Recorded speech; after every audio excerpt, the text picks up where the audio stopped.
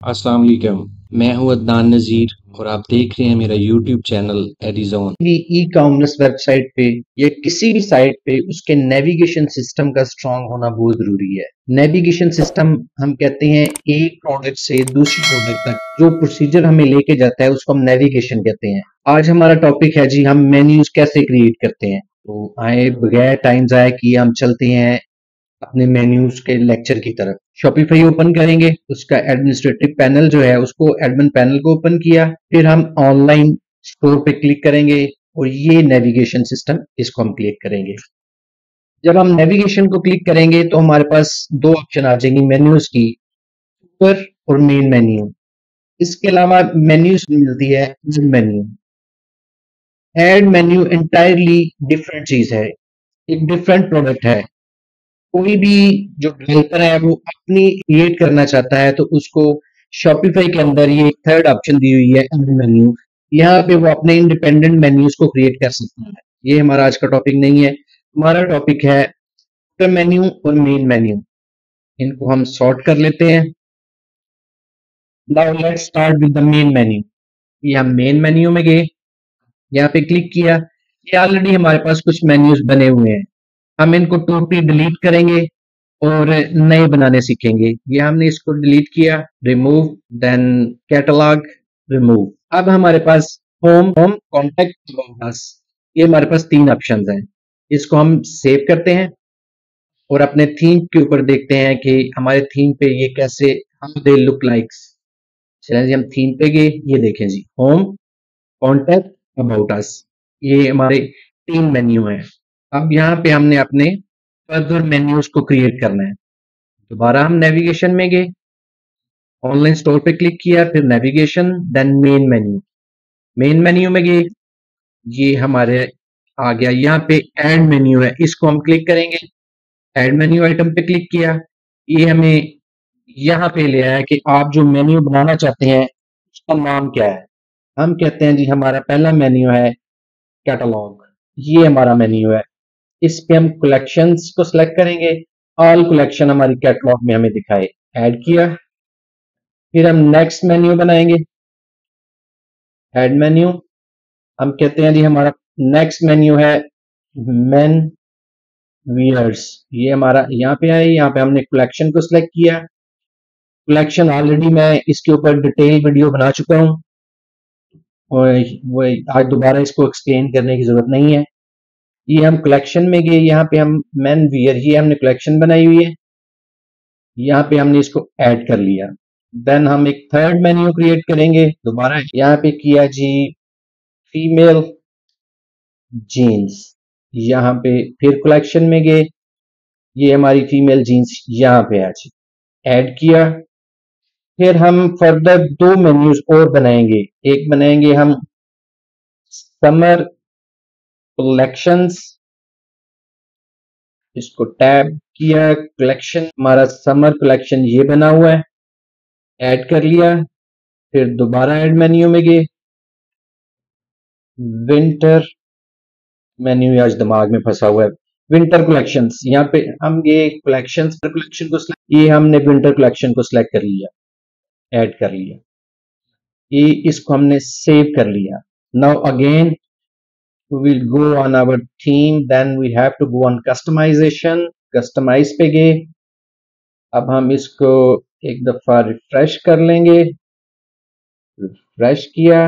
बाजुकात ये प्रॉब्लम करता है, ये देखें, ये हमारे सारे मेन्यूज आ गए। ठीक है? एक हमारा मैं करने का ये मेथड है। तो हम फर्दर दो मेथड जो उनको हम डिस्कस करेंगे। वो वो कैसे करेंगे जी? हम यहाँ पे एग्जिट करेंगे। फ़र्स्ट ऑफ़ ऑल मैं एक और चीज़ आपको बता दूँ, हम दोबारा नेविगेशन में गए अब देखें जी कि हम में, हमने मेन्यूज क्रिएट कर ली अब हम चाहते हैं कि हमारी कैटलॉग है, जिसके अंदर तमाम हमारी प्रोडक्ट्स हैं। उस कैटलॉग के अंदर फर्दर हमारे मेन्यूज आए। ना कि वो इतना ज़्यादा हमारी रश सा पड़ जाए। उसका सिंपल सा तरीका है, ये कैटलॉग है हमारी। ये हमारा कैटलॉग के अंदर मैन वियर्स है। ठीक है जी? हमने मैन वियर्स को पकड़ा, ये सिक्स डॉट से इधर कर दिया अब ये कैटलॉग का सब मेन्यू बन गया मेन वियर्स अब हम इसी तरह फीमेल जीन्स है, इसको हम कैटलॉग के नीचे लेके आएँगे और इस ला के छोड़ देंगे। अब फीमेल्स जो हमारा मेन्यू बना था, वो सब मेन्यू बन गया कैटलॉग का। अब हम चाहते हैं हमारा समर कलेक्शन जो है, हमारे मेंस वियर्स के अंदर आए। हमारी मेन्यू आया, सब मेन्यू आ गया फर्दर उसका सब मेन्यू बनाएगा। ये देखें जी लेट्स ट्राई मैन पे गए। ये अब देखें मैन का फर्दर उसने सब कलेक्शन बना दिया समर कलेक्शन इसी तरह विंटर पे हम जाएँगे विंटर को भी इधर से पकड़ेंगे और मेंस के अंदर जाके इधर हम इसको ड्रैग एंड ड्रॉप कर देंगे। अब दोबारा देखिए जी, हमने सबसे पहले कैटलॉग का मेन्यू बनाया, फिर हमने मेन का बनाया, फिर फिर फीमेल जीन्स का बनाया, फिर हमने विंटर समर कलेक्शन बनाया और विंटर कलेक्शन बनाया। देन हमने उनको डिस्प्ले करके देखा तो वो कैसे नज़र आ रहे थे? फिर हमने डिसाइड किया कि हमारा जो हेडर है, वो खूबसूरत लगना चाहिए। उसके लिए हमने इनको सब मेन्यू बना दी।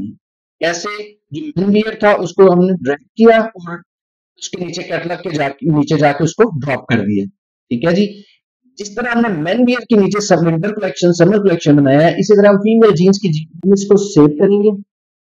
We will go on our theme. Then we have to go on customize. ये आ गया ये देखें जी। हमने ये कैटलॉग बनाया था, यहाँ पे ये हमने क्लिक किया। ये हमारा आ गया मेन वियर्स उसमें विंटर देन समर कलेक्शन यहाँ तक हमारे मेन्यूज किस तरह क्रिएट होने हैं, वो एक लॉजिक आपको मैंने दे दिया। अब हम देखते हैं कि इनको डिस्प्ले कैसे करना है हमने। ठीक है जी, उसके लिए हम दोबारा से स्टार्ट करते हैं। कि इनको हमने कैसे कस्टमाइज करना है? हम गए कस्टमाइज पे, फिर हम गए जी अपने हेडर पे हेडर पे हमारे मेन्यू है, ये देखिए मेन्यू ये डेस्कटॉप मेन्यू टाइप सबसे पहले हम ड्रॉप डाउन को सिलेक्ट करेंगे, उसको सेव करेंगे।